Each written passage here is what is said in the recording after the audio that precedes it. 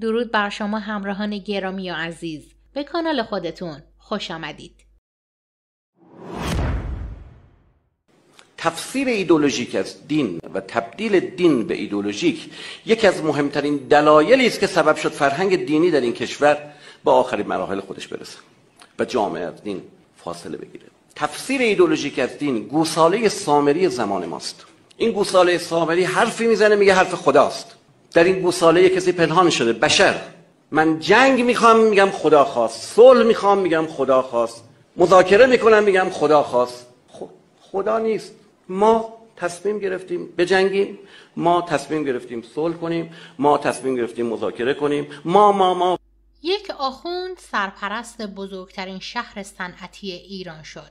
شهرک صنعتی البرز متعلق به شهرداری الوند در استان قزوین.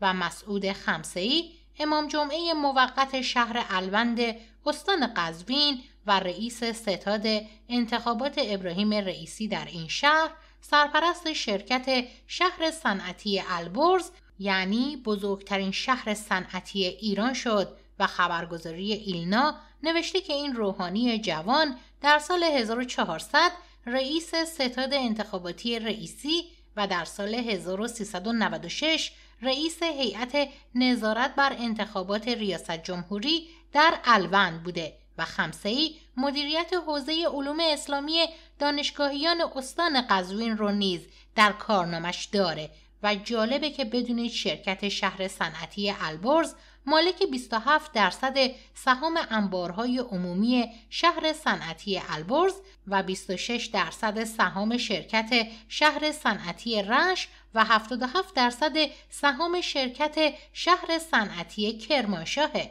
اقتصاد این همون اشتغال زایی رو به چه نحوی می‌خواید؟ آره اشتغال زایی نگاه کنید. الان ما کسانی هستن می‌تونن علوفه درست کنن.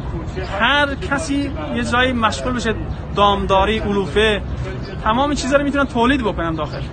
این بعضی چیزا رو میفرستیم خارج اونا برامون چیز می‌کنن.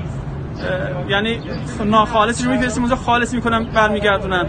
به چی به اونا میده اینا رو اگه تو داخل چیز کنیم اینا رو همشو دیگه نفرستیم. مثلا کوک بود. یه چند چیزی بود که تو من تلویزیون می‌دیدم میفرستادن اون طرف. اون طرف هم حالا ما داخل اینا رو چیز کنیم دیگه بسه خیلی چیز داریم ما. از سال 1257 تا 1357 شش پادشاه بر ایران حکومت کردند و در طی این 100 سال کودتا جنگ های داخلی و دو جنگ جهانی و قحطی و غیره رو از سر گذروندیم و دلار از هفت ریال به هفتاد ریال رسید. یعنی طی 130 سال از 1227 تا 1357 دلار. فقط ده برابر شد. اما طی 44 سال پس از انقلاب شکوهمند جمهوری اسلامی دلار 6000 برابر شده و این در حالیه که تو کتاب های تاریخ مدارسمون فقط از بیکفایتی شاهان قاجار خوندیم. ولی به این معجزه های آخوندا هیچ اشاره ای نکردن. میگه بیهجابی سبب شده بارون نیومده. چقدر نادان و چقدر اون که گوش میده نادان. خب زمان پهلوی خیلی بیهجابی بیشتر بود. تو بارون اینقدر میومد آیت الله فهاشیان مدرس حوزه علمیه در مورد این توضیح میده که چرا وقتی اصحاب پیامبر دست به باستن دختر پیامبر یعنی همسر عثمان خلیفه سوم زدن و باستنش رو فشار دادن و گفتند که بزرگه ساکت بود. نگفتن دلیلش چی بوده که عثمان وایساد نگاه کرد و صحابه دست به باستن زن عثمان زدن. دو دلیلش رو نگفتن ما خیلی دوست داریم دلیل این رو بدونیم. آیا عثمان خوشش اومد از این کار؟ آیا عثمان می‌تونست کاری بکنه کاری نکرد؟ چرا عثمان اعتراض نکرد؟ چرا عثمان نگفت دست به باستن همسر من نزنید اینو بگید اینو جوابشو بدید. این بیغیرتی رو چرا جواب نمی‌دید؟ باستن زن عثمان فشار دادن اندازه گرفتن گفتن کبیره است نمی‌دونم فلان. آقا چرا اینا رو جواب ندادن؟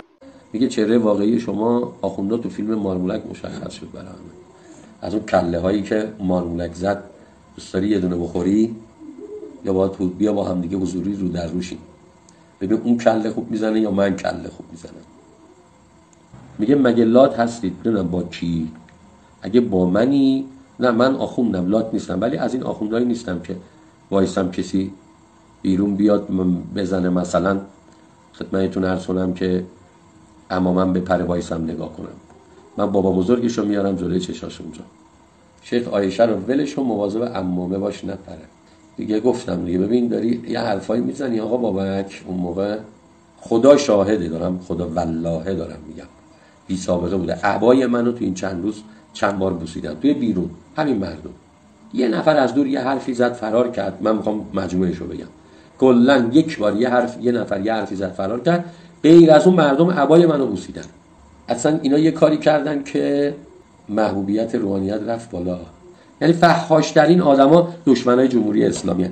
بی ادبترین آدما دشمنای جمهوری اسلامی هن. فقط خوش زیر شکم میدن. یه آقای آخوندی گفته که معترضین خارج از کشور فکر نکنن تو خونه امن نشستن. من خیلی ممنونم از ایشون که واقعا نگران جان معترضین هستن.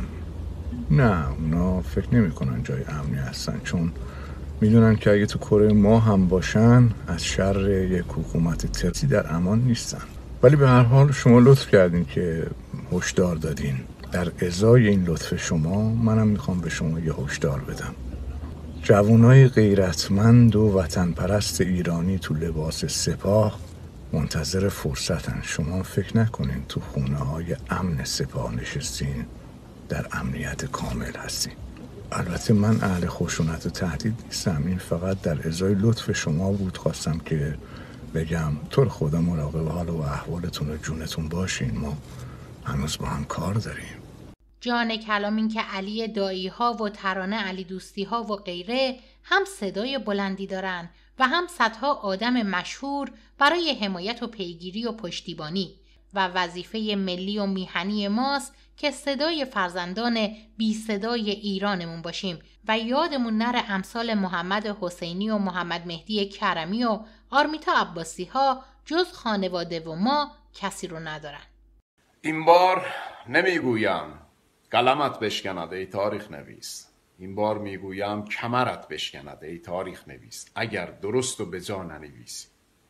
کسی که سالها منتظرش بودید نامش رینا بود نه مهدی. آنکه شکنزه شد و پهلو شکسته از این جهان سفر کرد نامش نیکا بود نه زینب. آنکه تشنه لب شهید شد نامش خدا نور بود نه حسین. و آن کودکی که جلوی پدر کشتند نامش کیان بود نه علی اصغر. قتل عامی که می‌گفتید کردستان جوان رود سیستان بلوچستان بود نه کربلا. جانم فدای ایران. بهترین ها رو برای تک تکتون آرزو دارم. روز و روزگارتون خوش.